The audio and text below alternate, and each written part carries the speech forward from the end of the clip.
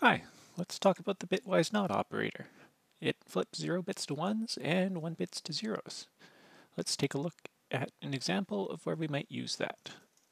Here we've got a file with some Unix permissions, rwx for the user, for the group, and for others. In Node, we access these permissions with the stat call from the fs library. Let me just load that. The mode returned by the stat call is a number that doesn't make a lot of sense in decimal. Like 33259, what is that? Well, we can convert it to binary using the base argument for the toString call. And if we copy that over and line it up with the Unix file permissions, it starts to make a whole lot of sense.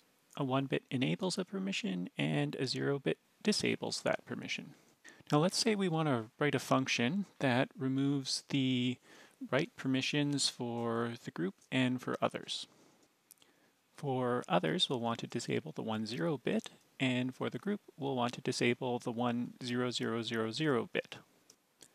The JavaScript code for that is let new mode equals the previous mode, bitwise and, the bitwise not of 10, bitwise and, bitwise not 1, 0, 0, 0, 0. And converting that to binary, let's compare with what we had before. And this is great. We've flipped the one bit that we didn't want to have set. So let's uh, load the function to actually apply this new permission to the file system. Await change mod foo new mode. And let's run ls to see what the new permission is. And if we line it up, there, we've successfully removed the group and other write permissions from this file without affecting any other permissions. Of course, having binary literals in your source code isn't so great, but there are symbolic constant names that we can load from the FS library that will make this uh, code a lot more readable. The names are SI for stat of an inode, and then write other and SI group other. No, sorry, uh, write group.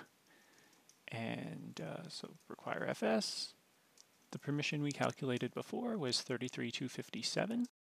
Now let's write that much more readably as mode and not uh, write other and not write group. And again, we get 33257. So that's how you use bitwise not. Now I want to go a little bit deeper here. Let's take some small example number like 25 and look at its binary representation.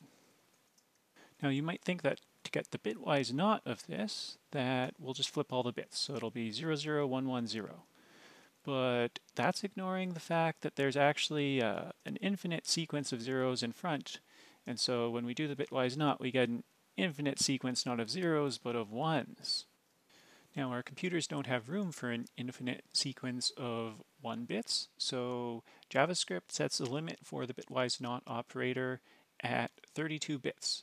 So to actually get the bitwise not of 25, according to JavaScript, we are going to need to truncate this uh, binary number to 32 bits. To get that in decimal, we need a uh, binary prefix, and then we're going to need uh, a bunch of ones, 32 minus 5 because we have 5 bits already, and then the 00110 that we expect. And if we eval this, we get the bitwise not of 25. It's 4,294,967,270. To check our math, let's copy that, apply bitwise not to it, and we should get 25 back, which we do. But let's ask JavaScript, what is the bitwise not of 25? JavaScript says that the bitwise not of 25 is minus 26. What's happening is that minus 26 and that 4.29 billion number we got have the same bits It's just one's being interpreted as a signed integer and one as an unsigned integer. So because of that 32-bit limit that JavaScript puts when you're working with these bitwise operators, we end up with multiple different numbers that overflow that silently get mapped to the same thing. So all the problems of C uh, signed versus unsigned confusion creep back in here uh, when you're using these bitwise operators. If the absolute value of the number you're giving the bitwise not is less than 2 to the 31, then because of how 2's complement works, then you will actually get that the bitwise not of x is negative x minus 1. So let's, uh, let's write a little function to check that and play with it. We'll call it uh, verbose bitwise not and just show x and bitwise not of x and whether it's equal to negative x minus 1. So for 25, this relationship holds. For 0, it holds. For 2 to the 32 minus 1, does not hold.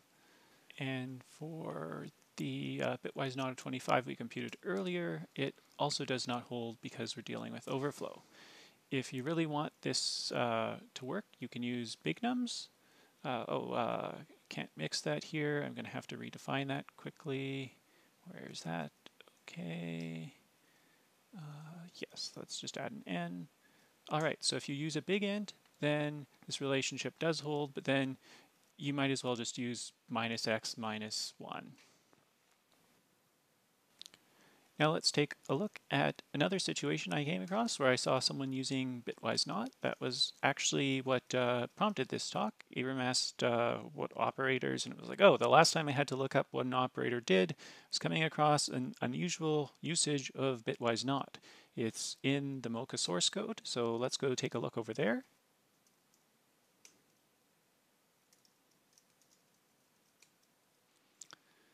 This is using bitwise not applied to index of as a shorthand for a boolean. So it takes a little bit to think about, but if index of returns minus 1, then bitwise not should turn that into a 0, which should turn that into a boolean false value. Let's uh, check this out in the interpreter.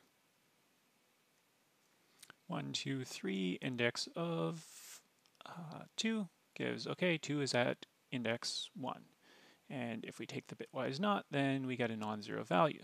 But if we ask for something that's not there, then the bitwise not of index of of the negative 1 gives us 0. Now, it probably didn't exist yet when this code was written, but nowadays uh, I'd recommend just using includes for this. It gives you a boolean value straight up, no dealing with uh, these unusual bitwise operators. This can actually go quite badly. We saw earlier that there are multiple numbers that map to any given bitwise not value because of the signedness and unsignedness and 32-bit truncation.